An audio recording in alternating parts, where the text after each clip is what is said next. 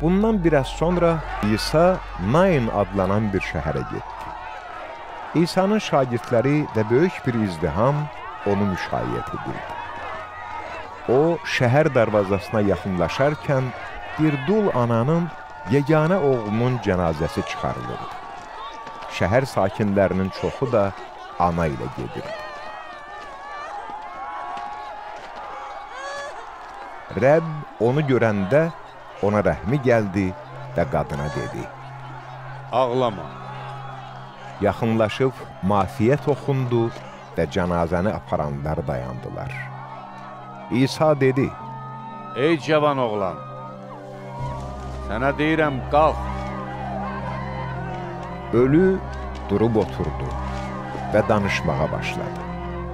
İsa onu anasına verdi. Hamını qorxu bürüdü.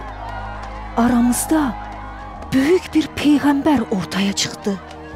Və Allah öz xalqına nəzər saldı. deyərək Allahı izzətləndirdilər.